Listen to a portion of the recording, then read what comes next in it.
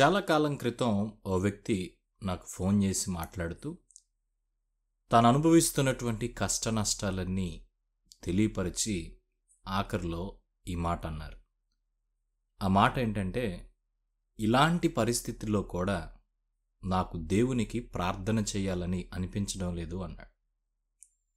ఎందుకు అలా మీరు అంటున్నారు అని అంటే నా జీవితంలో నేను మంచిగా ఉన్నప్పుడు నాకు అన్నీ బాగున్నప్పుడు నేను ఏ రోజు కూడా దేవుని స్తుతించలేదు. ఏ రోజు కూడా ఆయనతో సహవాసం చేయలేదు. ఇప్పుడు నాకు కష్టాలు వచ్చినాయి అని చెప్పేసి నాకున్న ఈ కష్టాన్ని బట్టి నాకు సహాయం చేయమని దేవుని దగ్గరికి వెళ్ళాలంటే దేవునికి ప్రార్థన చేయాలంటే నాకు ముఖం చెల్లట్లేదు అన్నాడు. ఈ మాటలు వింటున్న మీలో ఎవరికైనా ఇలాంటి భావమే ఉందా? మీరు కూడా ఆ వ్యక్తి ఆలోచించినట్లుగానే ఆలోచిస్తూ ఉన్నారా? ఈ అంశాన్ని గురించి ఒక సేవకుడు వ్యాఖ్యానిస్తూ ఇలా అన్నాడు.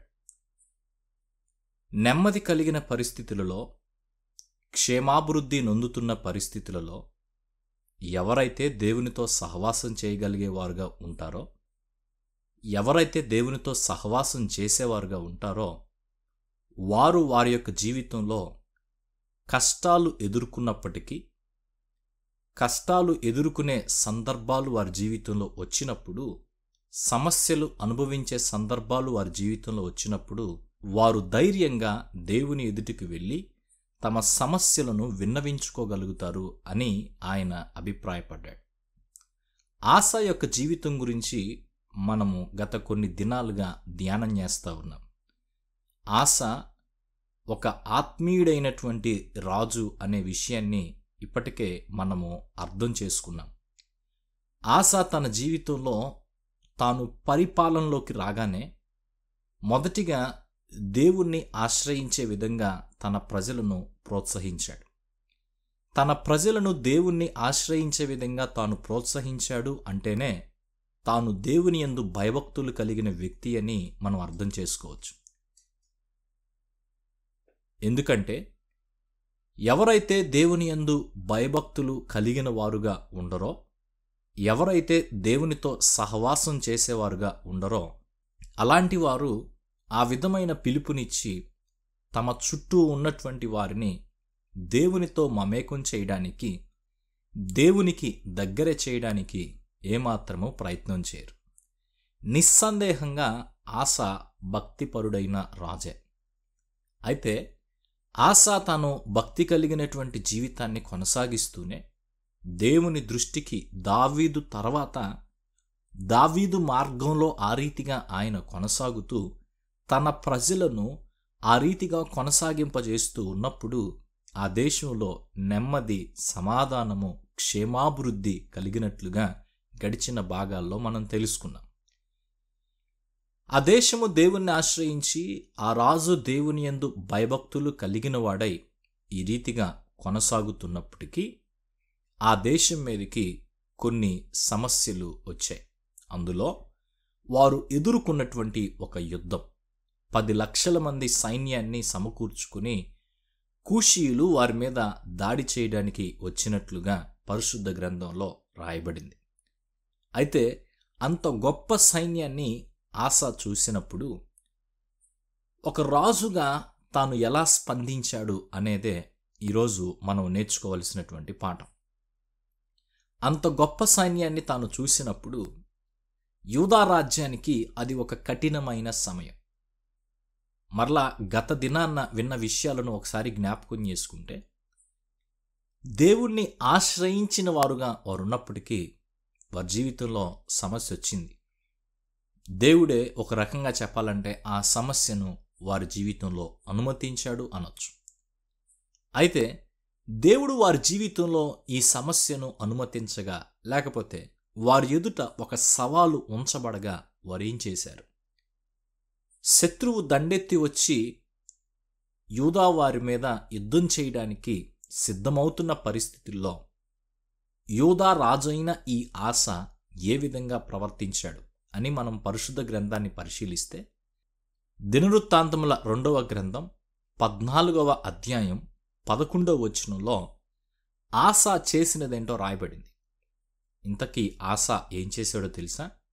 తన ఎదుట అంత గొప్ప శత్రు సైన్యము కనబడుతున్నప్పటికీ సాధారణంగా ఆయా సమయాల్లో ఒక సాధారణమైనటువంటి రాజు కొంత ఆందోళనకు గురైన వాడై తను ఆ సైన్యాన్ని ఎదుర్కోవడానికి ఇంకొంతమంది సహాయాన్ని కోరుకోవడం ఇంకొంతమంది రాజులతోటి ఒప్పందాలు చేసుకోవడం లేదా కొన్ని సందర్భాల్లో కొన్ని డబ్బులిచ్చి కొంతమంది సైనికులను ఈ యొక్క యుద్ధంలో పాల్గొనడానికి పిలిపించుకోవడం ఇలాంటివెన్నో రాజకీయ సంబంధమైన యుద్ధము చేసే విధానాల్లో అనుసరించే పద్ధతులను అనుసరించేటువంటి వారుగా ఉంటారు.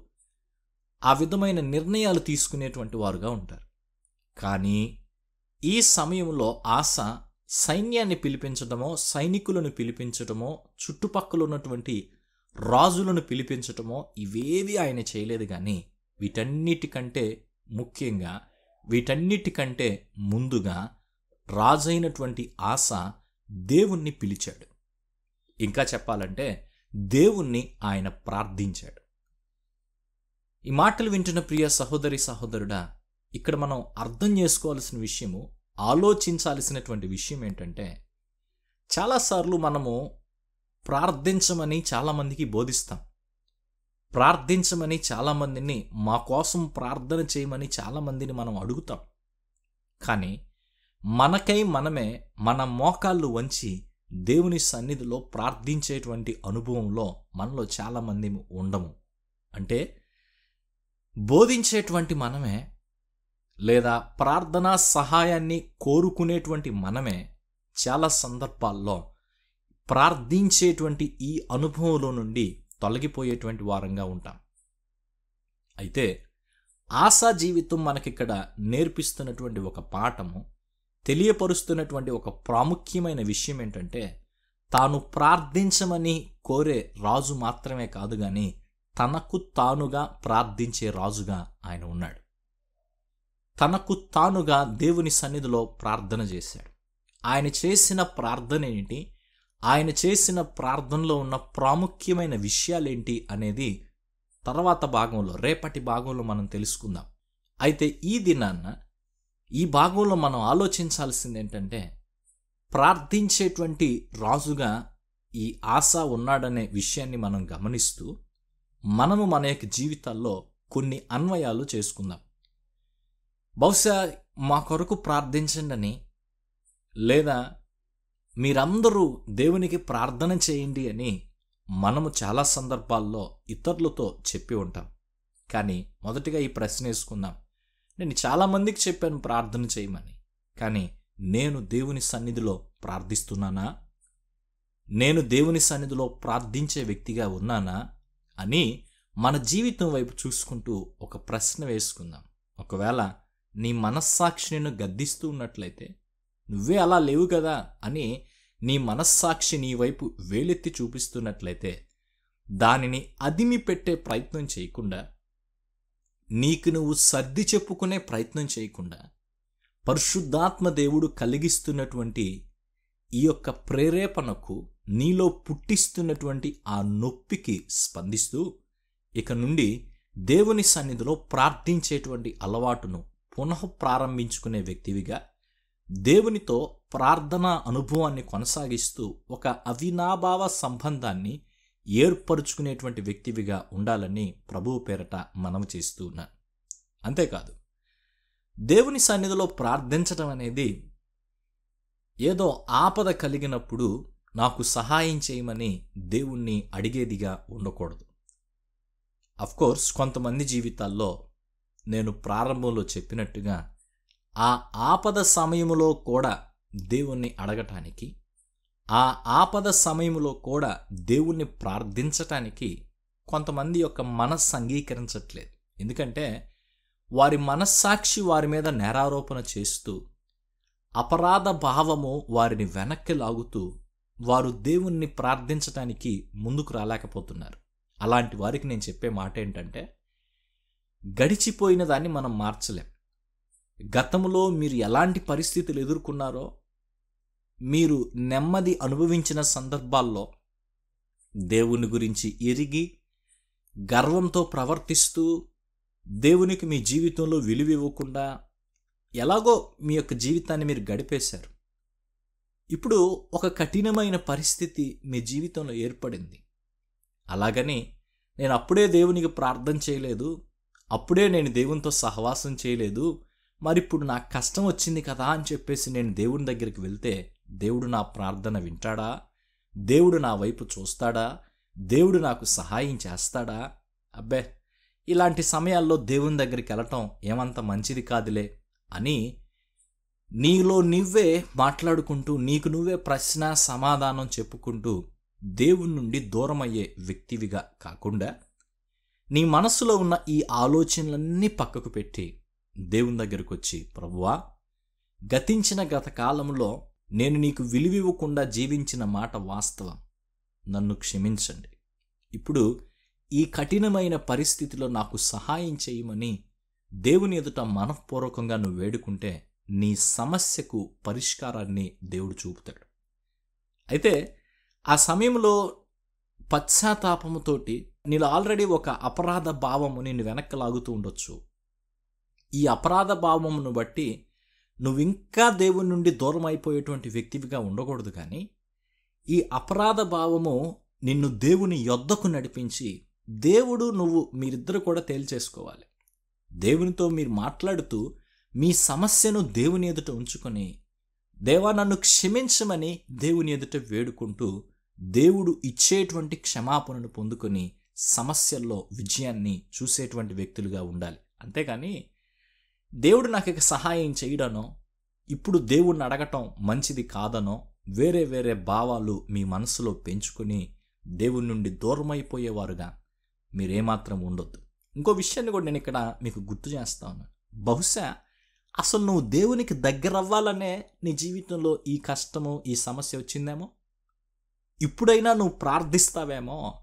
ఇప్పుడైనా నువ్వు దేవుని వైపు చూస్తావేమో ఇప్పుడైనా నువ్వు దేవుని సహాయాన్ని కోరుకుంటావేమో అని దేవుడు నీ జీవితంలో ఈ కష్టాన్ని అనుమతించాడేమో.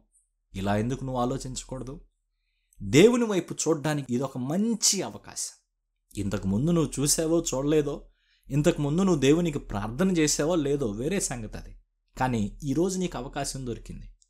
ఈరోజు నీకున్న కఠినమైన పరిస్థితిని బట్టైనా దేవుని వైపు తిరగటానికి నీ జీవితాన్ని మార్చుకోవటానికి దేవునితో సరైన సంబంధం కలిగి జీవించడానికి దేవుడు నీకు అవకాశాన్ని కలిగించాడు.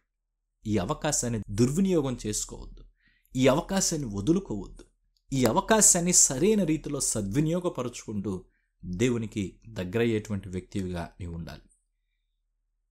చాలాసార్లు ఒక వ్యక్తితోటి మనం చాలా కాలంగా మాట్లాడకపోతే ఒక వ్యక్తితోటి మనం చాలా కాలంగా సహవాసం చేయకపోతే నిజానికి ఆ వ్యక్తితో మాట్లాడాలని మనకు అనిపిస్తున్న దాన్ని వాయిదా వేస్తూ ఉంటాం.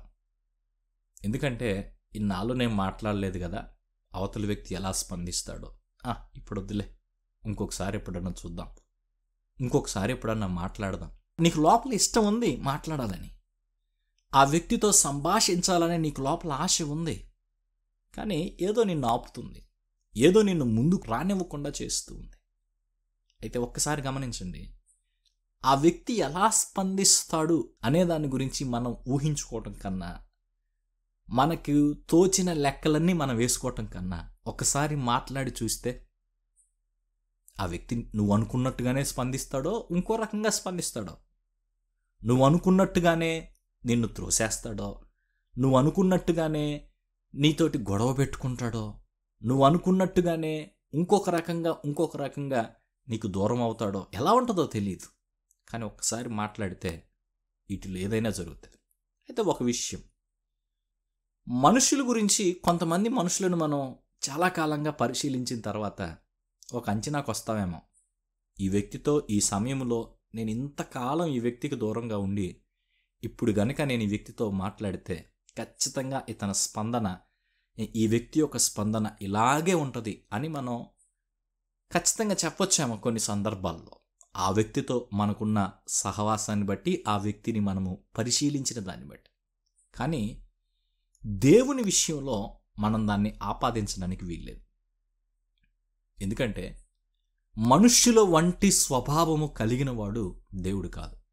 దేవుడు ఎంతో ప్రేమ కలిగిన వాడు దేవుడు మనలను తనకు దగ్గర చేసుకోవాలని చూసేవాడే కానీ తనకు దగ్గర అయ్యే ఏ వ్యక్తిని కూడా దూరంగా నెట్టేసేటువంటి వాడు కాదు. నిజంగా విరిగి నలిగిన మనస్సుతో నువ్వు దేవునికి దగ్గరైతే నీ కఠిన పరిస్థితిలో నువ్వు నిజంగా దేవునికి దగ్గరైతే దేవుడు నిన్ను ఖచ్చితంగా తన తనకు దగ్గరగా చేర్చుకుంటాడు నీకు సహాయం చేస్తాడు నీ అవసరాలు తీరుస్తాడు నీకు ఆ సమయంలో ఏమి అవసరమో దాన్ని నీకు అనుగ్రహిస్తాడు. కాబట్టి ప్రియ సహోదరి సహోదరుడా ఏవేవో ఊహించేసుకొని ఏదేదో ఆలోచించుకొని దేవునికి దూరం కాకుండా ధైర్యంగా దేవుని కృపాసనం యొద్దకు చేరేటువంటి వ్యక్తివిగా ఉండు. ఆయన కృప కొరకు వేడుకో నీ కఠిన పరిస్థితుల్లో. నాకు సహాయం చేయమని దేవుణ్ణి అడుగు. ఇక మూడవ సంగతి ఏంటంటే మనము మన జీవితాల్లో కష్ట సమయాల్లో మాత్రమే కాకుండా దేవుడు మనకు నెమ్మది కలిగించినప్పుడు మన జీవితాల్లో దేవునితో సహవాసం చేసేవారంగా ఉండాలి. ఇది ఆశకున్న అనుభవం. ఆశ తనకు నెమ్మది కలిగినటువంటి సందర్భాల్లో. మొదటిగా అసలు మనం ఆలోచన చేస్తే దేశమంతా దేవునికి వ్యతిరేకంగా ఉన్నప్పుడు తాను దేవునితో సహవాసం చేశాడు. తన దేశమంతా దేవునితో సహవాసం చేయునట్లుగా ప్రోత్సహించాడు. దేవుని వైపుకు తన ప్రజలను తిప్పే ప్రయత్నం చేశాడు. దాని ద్వారా నెమ్మది కలిగింది. అయితే నెమ్మది కలిగిన ఈ సమయంలో తాను దేవుని విడిచిపెట్టలేదు కానీ దేవునితో తనకున్న ఆ సంబంధాన్ని తాను కొనసాగించాడు. అంటే నెమ్మది కలిగిన సమయంలో క్షేమాభివృద్ధి పొందిన సమయంలో తాను దేవుణ్ణి నమ్మకంగా వెంబడించినటువంటి వాడుగా ఉన్నాడు. ఆ అనుభవంలో గుండా ఆయన వెళ్ళాడు. కాబట్టే తనకు కష్టమైన పరిస్థితి వచ్చినప్పుడు తన కఠిన పరిస్థితిలో ఇప్పుడు ధైర్యంగా దేవుని ఎదుట వేడుకునేవాడుగా ఉంటూ ఉన్నాడు. నిజంగా మన కఠిన పరిస్థితుల్లో మనము ధైర్యంగా దేవుని ఎదుటికి రావాలి అని అంటే కఠిన పరిస్థితుల కంటే ముందుగా మనము మంచి పరిస్థితులను అనుభవిస్తూ ఉన్నప్పుడు మేలును అనుభవిస్తున్నప్పుడు క్షేమాభివృద్ధిని అందుతూ ఉన్నప్పుడు మనము దేవునితో సహవాసం చేసేటువంటి అనుభవంలో ఉండాలి. ఇక్కడ ఈరోజు పాఠం ఇద్దరికీ ఉంది. నువ్వు కష్టాల్లో ఉన్నావా? గతాన్ని గురించి ఆలోచించేయకుండా దేవునికి దగ్గరికి రా. అయితే నువ్వు సుఖాన్ని అనుభవిస్తున్నావా? సంతోషంగా నీ జీవితం సాగుతుందా? మేలు నీ జీవితంలో కలుగుతుందా? మాకేమంత కష్టాలు లేవులేండి ప్రార్థన చేయటానికి ఇప్పుడు అని అనుకుంటున్నావా? అయితే ఒక చిన్న హెచ్చరిక. భవిష్యత్తులో రేపు నీకు ఏదైనా సమస్య వచ్చినప్పుడు ధైర్యంగా నువ్వు దేవుని యొద్దకి రావాలి అంటే ధైర్యంగా నువ్వు దేవుని యొద్దకి రాగలిగేటువంటి విధంగా నువ్వు ఉండాలి అంటే ఇప్పుడు నువ్వు దేవునితో సహవాసం చేయాలి.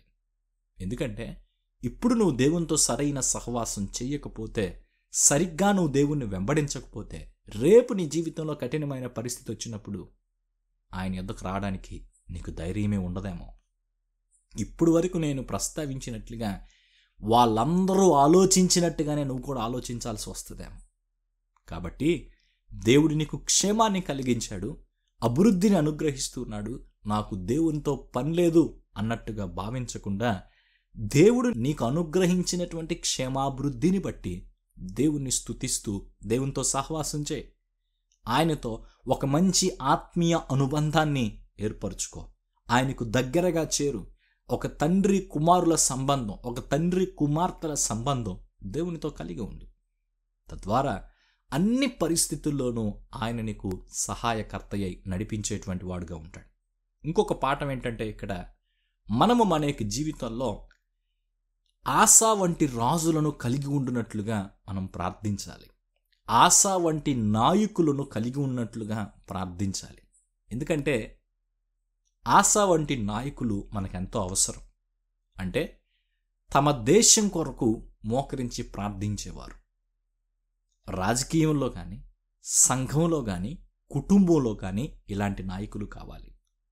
సంఘాన్ని దేశాన్ని కుటుంబాన్ని ఆత్మీయమైనటువంటి సలహాలిచ్చి నడిపించే నాయకులు మాత్రమే కాదు కానీ ఆ దేశం కొరకు ఆ రాష్ట్రం కొరకు వారి కింద ఏర్పాటు చేయబడిన వ్యవస్థల కొరకు వ్యక్తుల కొరకు దేవుని ఎదుట ప్రార్థించేటువంటి నాయకులు కావాలి.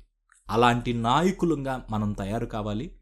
అలాంటి నాయకుల కొరకు మనం ప్రార్థించాలి అనగా అలాంటి నాయకులు లేపబడినట్లుగా మనం ప్రార్థించాలి. ఆశ వంటి మాదిరి మన జీవితాల్లో మనము ఎంతవరకు కలిగి ఉన్నామో ఆలోచన చేసుకొని మనము దేవుని యొక్క వాక్య ప్రకారంగా ఈ నాలుగు అన్వయాలు చేసుకునేటువంటి వారుగా ఉందాం. మొదటిది ఆశ వలె ప్రకటించడం మాత్రమే కాకుండా ప్రార్థించే అనుభవాన్ని కలిగి ఉందాం. రెండవది మన కష్ట పరిస్థితులలో గతం గురించి ఆలోచిస్తూ దేవునికి దూరం కాకుండా గతం ఎలా ఉన్నప్పటికీ దేవునికి దగ్గరయ్యేటువంటి ప్రయత్నం చేద్దాం. మూడవది మన యొక్క భవిష్యత్ పరిస్థితిని దృష్టిలో ఉంచుకొని మన ప్రస్తుత పరిస్థితిలో దేవునితో సహవాసం చేసేటువంటి వారుగా ఉందాం. నాలుగవది ఆశా వంటి నాయకులు దేవునికి ప్రార్థన చేయమని కోరేవారు మాత్రమే కాదు వా- స్వతహాగా వాళ్ళకై వాళ్ళే దేవుని సన్నిధిలో ప్రార్థించేటువంటి నాయకులు లేపబడాలని అలాంటి మాదిరి ప్రతి నాయకుడు కలిగి ఉండాలని మనం దేవుని సన్నిధిలో ప్రార్థన చేద్దాం. పరిశుద్ధుడైన మా తండ్రి నీకు వందనాలు స్తోత్రాలు చెల్లిస్తున్నాం. ఆశ జీవితం ద్వారా మీరు మాతో మాట్లాడుతున్న మాకు నేర్పిస్తున్న ఆత్మీయ పాఠాలన్నిటిని బట్టి నీకు వందనాలు చెల్లిస్తున్నాం. ఆశ ఏ విధంగా కేవలము తన ప్రజలకు పిలుపునిచ్చేవాడుగా మాత్రమే కాక తనకు తానుగా నీ సన్నిధిలో ప్రార్థించేటువంటి అనుభవాన్ని కలిగి ఉన్నాడని ఈ దినము నీ యొక్క గ్రంథంలో మేము తెలుసుకున్నాం. మాకు కూడా అలాంటి అనుభవాన్ని దయచేయండి.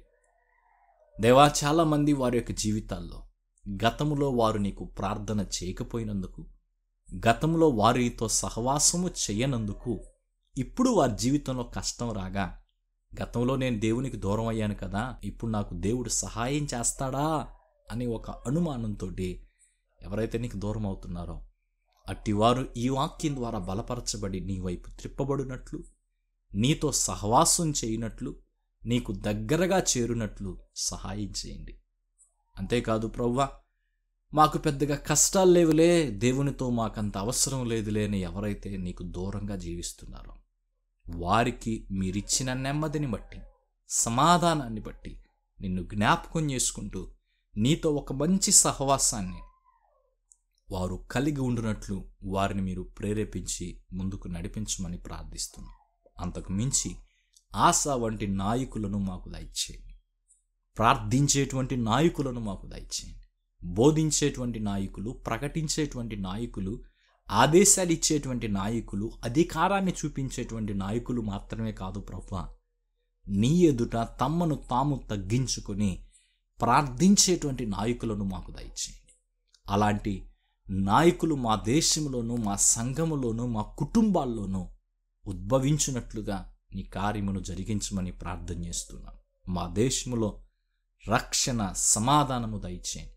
మా దేశము ఎదుర్కొంటున్నటువంటి ప్రతి విధమైన సంక్షోభాన్ని కఠినమైన పరిస్థితులన్నిటినీ మీరు మార్చండి. శాంతియుత వాతావరణము దేశమంతా కనబడినట్లు నీ కృపచూపమని ప్రార్థన చేస్తున్నా. ఈ దినాన్న ఈ ప్రార్థనలో ఎవరెవరైతే ఏకీభవిస్తున్నారో వారి యొక్క ప్రార్థనలు మీరు ఆలకించి నీ గొప్ప కార్యాలు మా అందరి జీవితాల్లో జరిగించమని ప్రభువును రక్షకుడైన ఏసయ్య నామంలో ప్రార్థిస్తున్నాం తండ్రి. ఆమె ఆశ వంటి మాదిరిని మనము మన యొక్క జీవితాల్లో కనబరుస్తూ దేవునికి మనం ఇంకా దగ్గర ఉన్నట్లుగా దేవుడు మనకు కృప చూపునుగాక ఆమెన్.